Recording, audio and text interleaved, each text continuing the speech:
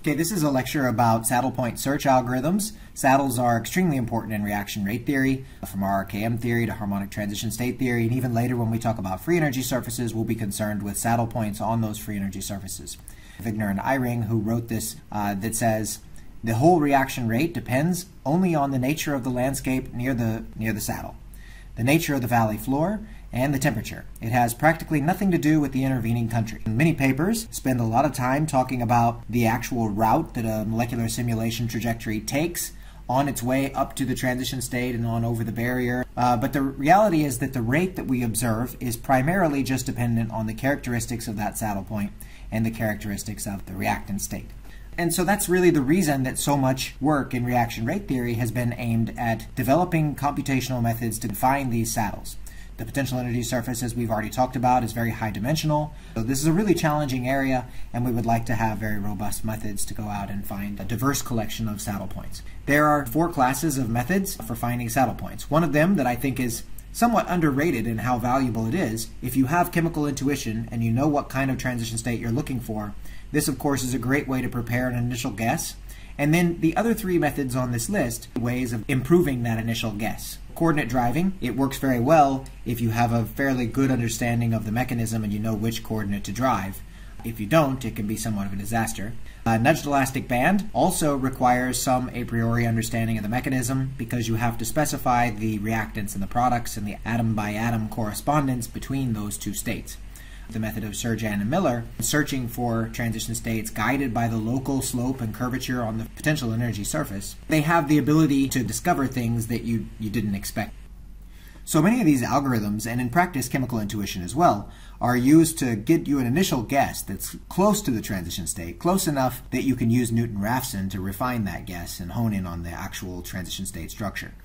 The energy landscape is the energy as a function of coordinate x plus some displacement away from x. So x stands for the current position, and this is an unknown displacement. Is, and the energy at the new position should be the energy at the place where I Taylor expanded times the displacement dotted into the gradient plus one half of the displacement dotted into the Hessian matrix. The gradient here and the Hessian are evaluated at this location x. Now the goal is to choose this step, this delta x, to make the gradient zero at the new location.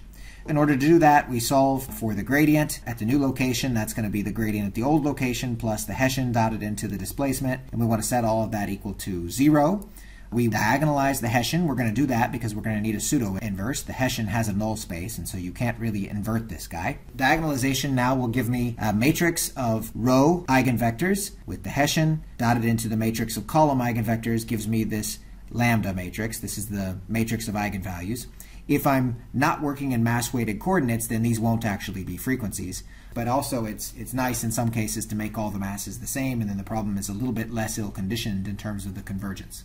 Define a gradient vector in the eigenvector basis, and that's this, this operation here. We're going to define a displacement in the eigenvector basis, and that's this operation here. And now we can convert everything into this simple equation by multiplying by the eigenvector matrix on the left and inserting u, u dagger. So u is a unitary matrix here because the Hessian is symmetric. And if we take u, u dagger, that just gives me i, so I can insert this in the equation anywhere I like. And when I do that, I recover this simple expression. This is my gradient in the eigenvector basis, my diagonal matrix of force constants, and the vector of displacements in the eigenvector basis. And that should still be equal to the zero vector.